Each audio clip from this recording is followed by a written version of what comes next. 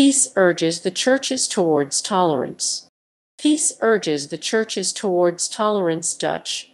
Vrede maant de Kerken tot Verdraagzaamheid is a 1600-1624 allegorical painting by an unknown artist. It was donated to the Rijksmuseum in Amsterdam in 1968 by Bosman, a Brussels-based collector for whom it had been purchased anonymously in France earlier that year.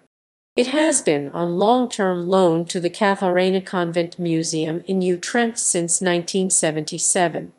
From left to right Jean Calvin, an unidentified pope, and Martin Luther sit round a table. Luther plays a lute, whilst Calvin squeezes half an orange over his plate of lamb symbolizing the Calvinism of the House of Orange and gives the Pope the other used up half to put in a pot.